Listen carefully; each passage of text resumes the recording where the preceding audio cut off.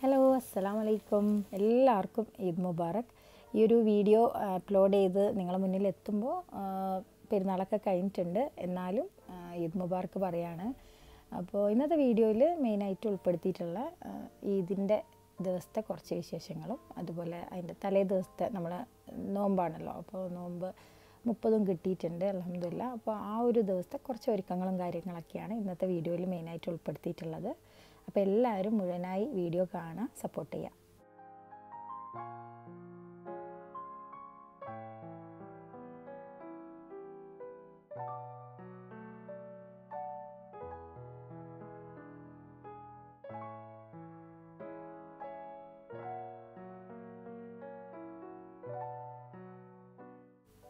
അപ്പോൾ ഇതിപ്പോൾ മൈലാഞ്ചി ഇടുന്നത് പെരുന്നാളിന്റെ തലേ ദിവസമാണ്. അപ്പോൾ പെരുന്നാൾ കൺഫേം ആയതുകൊണ്ട് തന്നെ കുട്ടികൾ രാവിലെ തന്നെ മൈലാഞ്ചി ഇടണം എന്നൊക്കെ പറഞ്ഞിട്ട് വന്നിട്ടുണ്ടായിരുന്നു. അപ്പോൾ അന്ന് രാവിലെ മെയിനായിട്ടുള്ള പരിപാടി ഇത് തന്നെയായിരുന്നു. കുട്ടികളെ കൈകളിലൊക്കെ മൈലാഞ്ചി ഇട്ട് കൊടുക്കൽ അത് കഴിഞ്ഞിട്ടാണ് പിന്നെ ഞാൻ കുറച്ച് ക്ലീനിങ് ഒക്കെ ഉണ്ടായിരുന്നു. പെരുന്നാളിന്റേതായിട്ടുള്ള കുറച്ച് ക്ലീനിങ് ഒക്കെ ഉണ്ടല്ലോ. ഡീപ്പ് ക്ലീനിങ് ആയിട്ടൊന്നുമില്ല. എന്നാലും അതൊക്കെ ചെയ്തിട്ടുണ്ടായിരുന്നത് ഈ ഒരു മൈലാഞ്ചി പരിപാടിയൊക്കെ കഴിഞ്ഞിട്ടാണ്.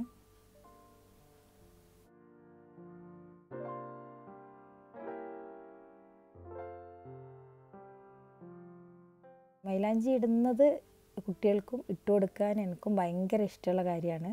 അപ്പോൾ ഇതുകൊണ്ടുള്ള മെയിനായിട്ടുള്ള കുഴപ്പം ഒന്നേ ഉള്ളൂ. ഇത് ഡ്രൈ ആയി കഴിഞ്ഞാൽ മക്കളല്ലേ അവർ പോകുന്നിടത്തും ഇരിക്കുന്നിടത്തും മൊത്തം അതിങ്ങനെ തൊഴിഞ്ഞിട്ടുണ്ടാവും. പിന്നെ അത് ക്ലീൻ ചെയ്തെടുക്കുക അടിച്ചു വാരുക അതൊരു വലിയ പണി തന്നെയാണ്.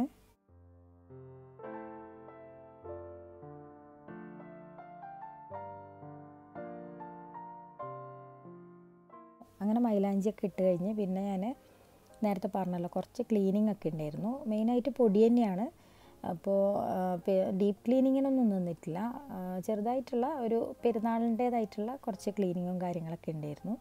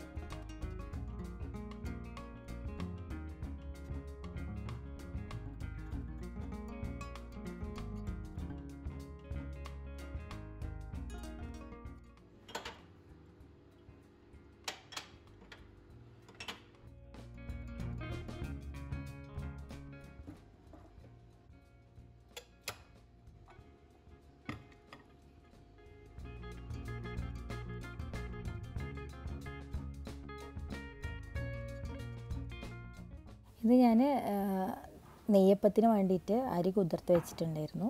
കുറേ ഒന്നും ആക്കുന്നില്ല കേട്ടോ കുറച്ചേ ആക്കുന്നുള്ളൂ.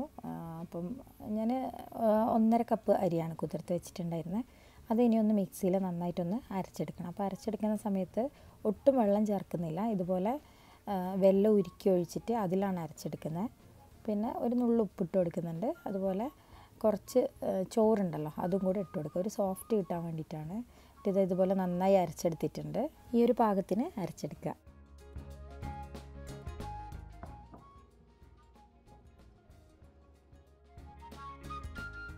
അപ്പോൾ ഇത് അരച്ചെടുക്കുന്ന സമയത്ത് ഇതിലേക്ക് നിങ്ങൾക്ക് വേണമെങ്കിൽ പഴം ആഡ് ചെയ്യാം കേട്ടോ. ചെറുപഴമാണ്. നിങ്ങൾ എത്രയാണോ ക്വാണ്ടിറ്റി എടുത്ത് അതനുസരിച്ച് ഒന്നോ രണ്ടോ പഴം ആഡ് ചെയ്യാം. നെയ്യപ്പത്തിന് നല്ല സോഫ്റ്റ് ഉണ്ടാവും. പിന്നെ ഞാനിത് അരച്ചെടുത്തിട്ട് ഇത് ടേസ്റ്റ് ചെയ്ത് നോക്കിയപ്പം അതിനും കുറച്ച് കുറവുള്ള പോലെ തോന്നി. അപ്പോൾ അത് ഞാൻ കുറച്ചും കൂടെ വെള്ളം ഉരുക്കിയത് ഒഴിച്ചു കൊടുത്തിട്ട് ഒന്ന് മിക്സ് ചെയ്തിട്ടുണ്ട്. ഇനി ഇതിലേക്ക് ഞാൻ ഏലക്കാപ്പൊടിയും അതുപോലെ ചെറിയ ജീരകം എള്ള് പിന്നെ ഒരു ടേബിൾ സ്പൂണോളം നെയ്യൊക്കെ ഇട്ടിട്ട് നന്നായി ഒന്ന് മിക്സ് ചെയ്തെടുക്കുന്നുണ്ട്. അപ്പോൾ ഇതൊക്കെ കൂടെ ആകുമ്പോൾ ഇത് കുറച്ചും കൂടെ ലൂസ് ആകുന്നുണ്ട് ഞാൻ വെള്ളം കുറച്ചും കൂടെ ഒഴിച്ചല്ലോ.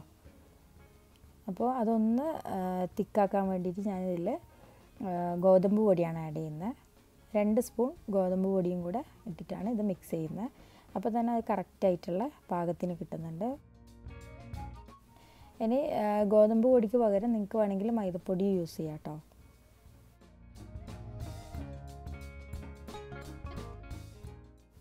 അപ്പോൾ എപ്പോഴും നമ്മൾ നെയ്യപ്പാക്കുന്ന ദിവസത്തിന്റെ തലേ ദിവസം ഇതുപോലെ മിക്സ് ചെയ്ത് വെച്ച് കഴിഞ്ഞാൽ നല്ല സോഫ്റ്റ് ആയിട്ടുള്ള നെയ്യപ്പരിക്കും നമ്മൾ ഉണ്ടാക്കുന്ന സമയത്ത് നമുക്ക് റെഡിയായി കിട്ടുക. അപ്പോൾ ഇതുവരെ ഇങ്ങനെ ട്രൈ ചെയ്ത് നോക്കാത്തവരുണ്ടെങ്കിൽ ഒന്ന് ഉണ്ടാക്കി നോക്കിക്കോളൂ. നല്ല അടിപൊളി നെയ്യപ്പം റെഡിയാക്കി എടുക്കാൻ പറ്റും.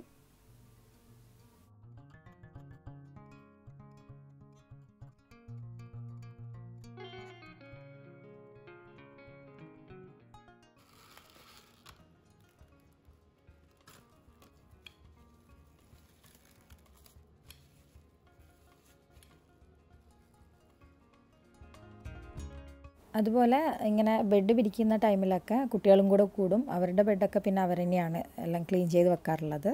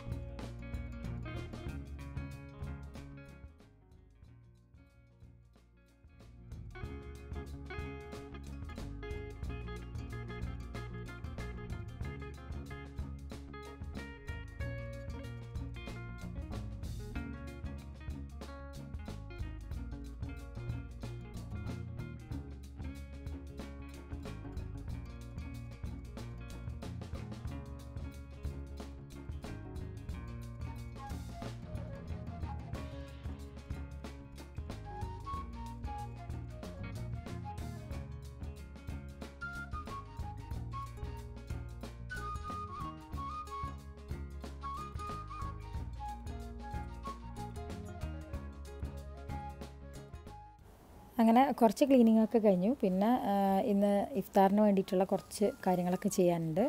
അപ്പോൾ ഈസി ആയിട്ടുള്ള ഐറ്റംസ് ഒക്കെ തന്നെ ഉണ്ടാക്കുന്നത് മക്രോണി ഉണ്ടാക്കുന്നുണ്ട് അതുപോലെ ഒരു സ്വീറ്റ് ഐറ്റം ഉണ്ടാക്കുന്നുണ്ട്.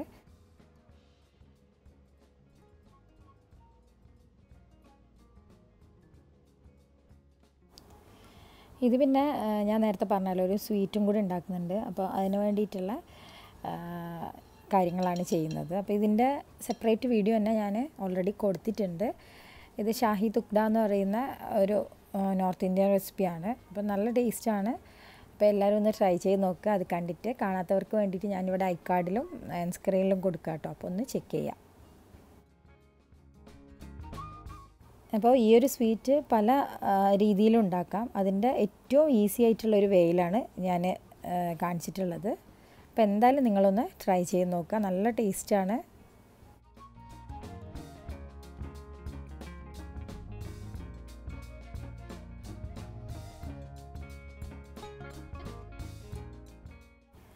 അപ്പോൾ ഞാൻ നേരത്തെ പറഞ്ഞ പോലെ നല്ല ഈസി ആയിട്ടുള്ള ഐറ്റംസാണ് ഇഫ്താറിന് വേണ്ടിയിട്ട് ഉണ്ടാക്കിയത്. അപ്പോൾ അതുകൊണ്ട് തന്നെ പെട്ടെന്ന് അതൊക്കെ റെഡിയാക്കി കഴിഞ്ഞപ്പോൾ കുറച്ചും കൂടെ ക്ലീനിങ് ഒക്കെ ബാക്കിയുണ്ടായിരുന്നു. അപ്പോൾ അതും കൂടെ ചെയ്യാമെന്ന് വിചാരിച്ചു.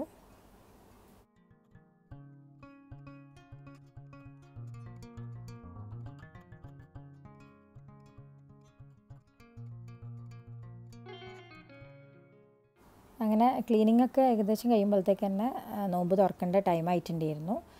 അപ്പോൾ അലഹമില്ല അങ്ങനെ ഈ വർഷത്തെ റമദാനിലെ ലാസ്റ്റ് നോമ്പും നല്ല ഹയറായിട്ട് തന്നെ കംപ്ലീറ്റ് ചെയ്തു.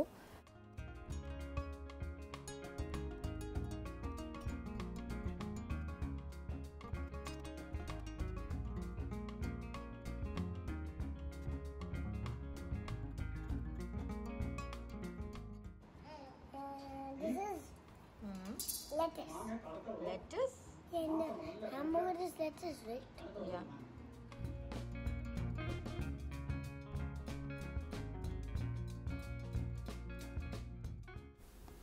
പിന്നെ അങ്ങനെ നോമ്പൊക്കെ തുറന്ന് പിന്നെ കുട്ടികൾ അവരുടെ കളികളൊക്കെ ആയിട്ട് തന്നു പിന്നെ കുറച്ചും കൂടെ മൈലാഞ്ചി ഇട്ട് കൊടുക്കാനുണ്ടായിരുന്നു അതും കംപ്ലീറ്റ് ചെയ്ത് കുറച്ച് ക്ലീനിങ് ബാക്കിയുണ്ടായിരുന്നു പിന്നെ പെരുന്നാളിനേക്ക് വേണ്ടിയിട്ടുള്ള കുറച്ച് കുറച്ച് കാര്യങ്ങളും കൂടെ ചെയ്തു വെക്കാനുണ്ടായിരുന്നു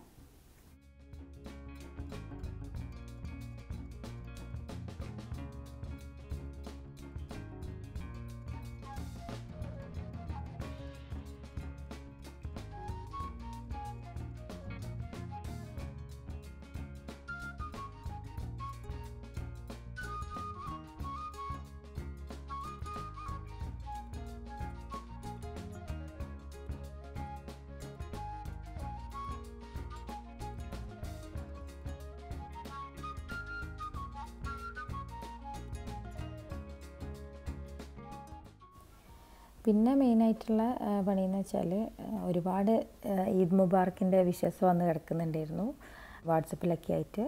അപ്പോൾ അവർക്കൊക്കെയുള്ള റിപ്ലൈ കൊടുക്കലും അങ്ങനെയൊക്കെ ആയിട്ട് കുറച്ച് ടൈം അങ്ങനെയും പോയി.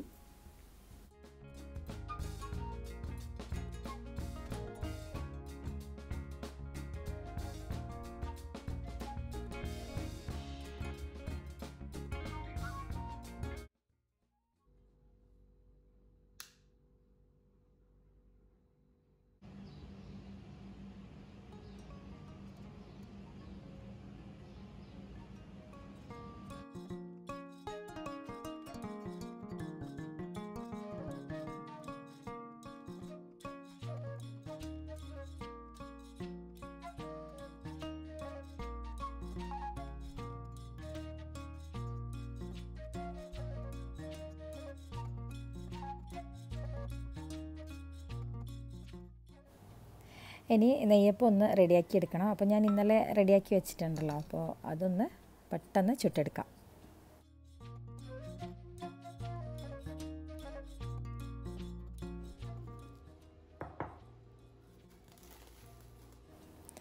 അപ്പോൾ ഇന്ന് നോക്കുമ്പോൾ ആ, കലക്കി വെച്ച ബാറ്റർ ഒന്നും കൂടെ തിക്കായിട്ടുണ്ട്. അപ്പോൾ ഞാൻ കുറച്ചും കൂടെ വെള്ളം ഉരുക്കിയത് ഒഴിച്ചിട്ടൊന്ന് ലൂസാക്കി എടുക്കുന്നുണ്ട്. അപ്പോൾ ഇത് ഈ ഒരു പാകത്തിനാണ് വേണ്ടത്. എണ്ണ നന്നായി ചൂടായി വരുന്ന ടൈമിൽ അതിലേക്ക് ഇതുപോലെ ഒഴിച്ചു കൊടുത്തിട്ട് ചുട്ടെടുക്കാം. ഞാൻ ചെറിയ നെയ്യപ്പം കേട്ടോ ഉണ്ടാക്കിയെടുക്കുന്ന.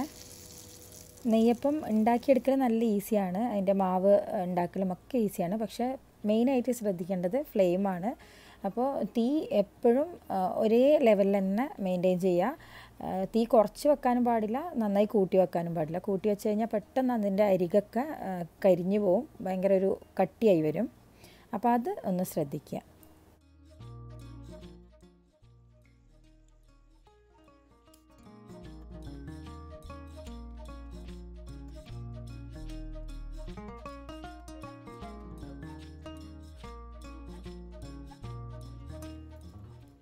അങ്ങനെ ഇതാ നെയ്യപ്പം ഫുള്ളായിട്ട് ഞാൻ റെഡിയാക്കി എടുത്തിട്ടുണ്ട്. ഇനി ഇത് ഒരു ടിഷ്യൂ പേപ്പർ വെച്ചിട്ട് ജസ്റ്റ് ഒന്ന് മൂടി വെക്കുന്നുണ്ട്.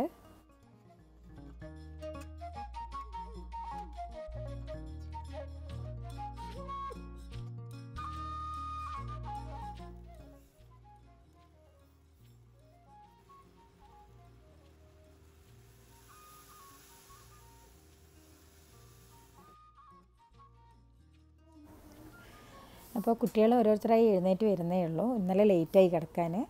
അപ്പോൾ ഞാനും റൈസ്കിയും ഫുഡ് കഴിക്കുകയാണ്. അപ്പോൾ നമ്മൾ വയനാടിന്റെ ഒരു കോമ്പിനേഷനാണ് നെയ്യപ്പവും ഇറച്ചി വരട്ടിയതും. അപ്പോൾ ഞങ്ങൾ അതാ കഴിച്ചിട്ടുണ്ടായിരുന്നത് കുട്ടികൾക്ക് ആ ഒരു കോമ്പിനേഷൻ വലിയ ഇഷ്ടമില്ല. അപ്പോൾ അവർക്ക് വേറെ എന്തെങ്കിലും റെഡിയാക്കണം ഇന്ന് പിന്നെ ബിരിയാണി ഉണ്ടാക്കാമെന്നാണ് വിചാരിക്കുന്നത് ചിക്കൻ ബിരിയാണി. അപ്പോൾ അതിന് വേണ്ട കാര്യങ്ങളൊക്കെ ഓൾറെഡി ചെയ്തിട്ടുണ്ട്. പിന്നെ ഇത് പിന്നെ കുറച്ച് ഫ്രൂട്ട്സ് കട്ട് ചെയ്തെടുക്കുകയാണ് ഫ്രൂട്ട് സലാഡ് ഉണ്ടാക്കാൻ വേണ്ടിയിട്ട്. ഇവിടെ കുട്ടികൾക്കും റൈസ് കാക്കാനും നല്ല ഇഷ്ടമാണ് അപ്പോൾ ഫ്രൂട്ട് സലാഡിന് വേണ്ടിയിട്ടുള്ള ക്രീം ഞാൻ ഓൾറെഡി റെഡിയാക്കി വെച്ചാണ് ഇന്നലെ.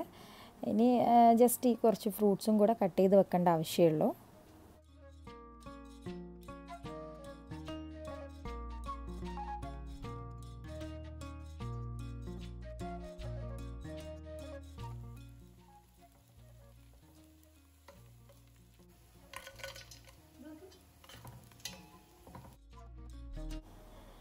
അങ്ങനെ ബിരിയാണി റെഡിയായി. അപ്പോൾ ഏകദേശം ഒമ്പത് മണി ഒമ്പതര ആകുമ്പോഴത്തേക്ക് തന്നെ ഫുഡൊക്കെ റെഡിയായി കേട്ടോ. അങ്ങനെ ഫുഡൊക്കെ റെഡിയായി കഴിഞ്ഞപ്പോൾ പിന്നെ വേറെ പണിയൊന്നുമില്ല. അപ്പോൾ പിന്നെ നമ്മളെ വീട്ടിന്റെ അടുത്ത് തന്നെ ഒരു പാർക്കുണ്ട്. അപ്പോൾ കുട്ടികളും പറഞ്ഞു എന്നാൽ പിന്നെ പാർക്കിലൊക്കെ ഒന്ന് പോകാമെന്ന് അങ്ങനെ ഞങ്ങൾ റെഡിയായിട്ട് ഇറങ്ങുകയാണ്. അപ്പോൾ ഇറങ്ങിയ സമയത്ത് വലിയ ചൂട് തോന്നിയിട്ടില്ല. അവിടെ പാർക്കിൽ എത്തിക്കഴിഞ്ഞപ്പോഴാണ് നല്ല ചൂടായിരുന്നു. അപ്പോൾ കുറച്ച് നേരം അവിടെ നിന്ന് കുറച്ച് ഫോട്ടോസൊക്കെ എടുത്ത് അങ്ങനെ തിരിച്ചു വരികയുണ്ടായേ പിന്നെ ഇത്തവണത്തെ പെരുന്നാളിന് കഴിഞ്ഞ തവണത്തേനേക്കാളും ഒരു പ്രത്യേകത എന്ന് പറഞ്ഞാൽ ഇപ്രാവശ്യം അലഹമില്ല നമുക്ക് ഈദ്ഗാഹും അതുപോലെ പള്ളിയിലൊക്കെ പെരുന്നാൾ നിസ്കാരമൊക്കെ ഉണ്ടായിരുന്നു. കഴിഞ്ഞ തവണ ഫുൾ ലോക്ക്ഡൗൺ ആയിരുന്നു. നമ്മുടെ നാട്ടിൽ ഇപ്പോഴുള്ള അതേ അവസ്ഥ തന്നെയായിരുന്നു.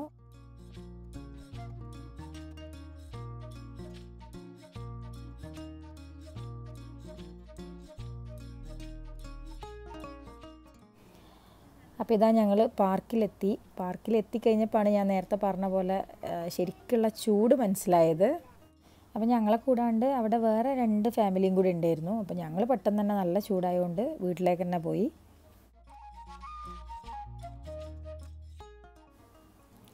അപ്പം നിങ്ങൾ ആ സൈഡിലുള്ള ബിൽഡിംഗ് കാണുന്നുണ്ട് എന്ന് വിചാരിക്കുന്നു. അപ്പോൾ അതിന്റെ പ്രത്യേകത മനസ്സിലായോ? നമ്മളെ വേൾഡ് കപ്പിന്റെ ഇയർ മെൻഷൻ ചെയ്തിട്ടുള്ള ഒരു ബിൽഡിംഗ് ആണ് ട്വന്റി ട്വന്റി ടു. അപ്പോൾ അതിന്റെ തന്നെ ഓപ്പോസിറ്റായിട്ട് ഒരു സ്റ്റേഡിയം കൂടെ ഉണ്ട്.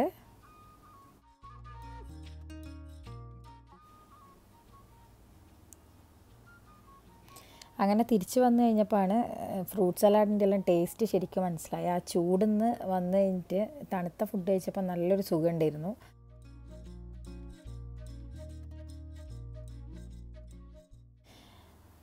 പിന്നെ അതൊക്കെ കഴിഞ്ഞ് ഏകദേശം ചോറിന്റെ ടൈം ആയിട്ടുണ്ടായിരുന്നു. അപ്പോൾ റൈസ് ഖാന്റെ ഏട്ടനും കൂടെ വന്നിട്ടുണ്ടായിരുന്നു. അങ്ങനെ ഫുഡൊക്കെ കഴിച്ച് ക്ലീനിങ്ങും കാര്യങ്ങളൊക്കെ കഴിഞ്ഞ് പിന്നെയുള്ള മെയിൻ പരിപാടി നാട്ടിലേക്ക് ഫോൺ ചെയ്യുക വീഡിയോ കോൾ ചെയ്യുക ഇതൊക്കെയായിരുന്നു.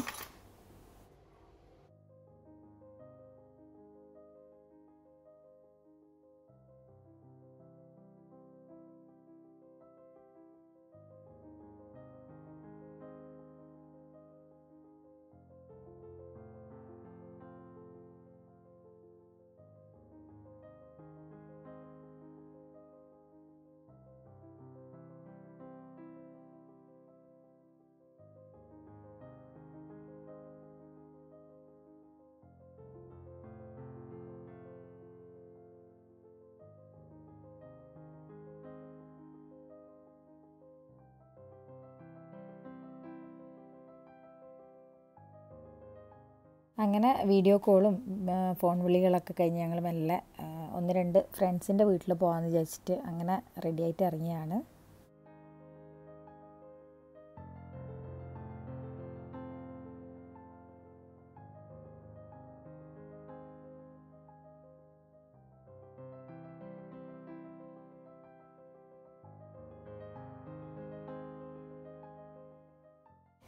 അപ്പോൾ ഞങ്ങൾ ഫസ്റ്റ് പോയത് ഇവരെ വീട്ടിലേക്കാണ്. ഹബീബ് ആൻഡ് ആയിഷ.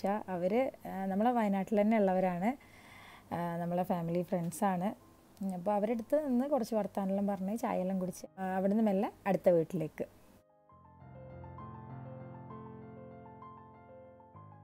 അടുത്ത് നമ്മൾ പോയത് ഈ വീട്ടിലേക്കാണ്. അപ്പോൾ ഈ വീട്ടിൽ ചെറിയ ചെറിയ പ്രത്യേകതകളുണ്ട്. അതിൽ ഒന്നാമത്തത് ഈ വീട്ടിൽ കുറച്ച് കോഴികളൊക്കെ ഇവർ വളർത്തുന്നുണ്ട് കേട്ടോ ഇവിടെ ഖത്തർ തന്നെ ചില വീടുകളിലൊക്കെ അങ്ങനെ വളർത്തുന്നുണ്ട്.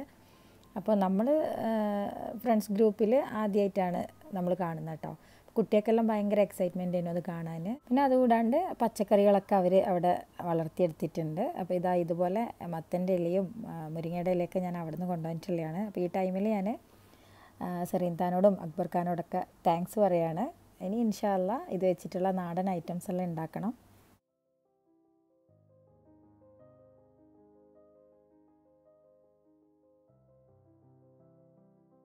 അപ്പോൾ ഇത് അടുത്ത വീട്ടിലും പോയി ഞങ്ങൾ തിരിച്ച് വീട്ടിലേക്ക് തന്നെ പോവാണ്. അപ്പോൾ ഇവരെക്കുറിച്ച് പറയുകയാണെങ്കിൽ ഞാൻ ഖത്തറിൽ വന്ന ആ ടൈം മുതൽ അതിന് മുന്നേ റൈസ് കാക്ക് അവരുമായിട്ട് പരിചയമുണ്ട്. അപ്പോൾ ആ ടൈം മുതൽ ഇന്ന് വരെ നല്ല ഫ്രണ്ട്സാണ് ഞങ്ങൾ ഷാജിക്ക ആൻഡ് ഷെമി ഞങ്ങളുടെ ക്ലോസ് ഫ്രണ്ട്സാണ് അപ്പോൾ അവിടെ പോയാൽ കുറച്ച് ടൈം എന്തായാലും അവിടെ ഇരിക്കേണ്ടി വരും. അങ്ങനെ വർത്താനെല്ലാം പറഞ്ഞ് ഒരു പത്ത് പത്തര ആയിട്ടുണ്ട് തിരിച്ച് വരാൻ വേണ്ടിയിട്ട് അപ്പോൾ ഇത്തവണ ചെറിയ ചെറിയ ഇളവുകളൊക്കെ കിട്ടിയതാണ് ഇവിടെ. കഴിഞ്ഞ തവണ ലോക്ക്ഡൗൺ ഒക്കെ ആയിരുന്നു. നാട്ടിൽ അതേ അവസ്ഥ തന്നെയായിരുന്നു ഇവിടെ. എവിടെയും പോകാനൊന്നും പറ്റില്ല.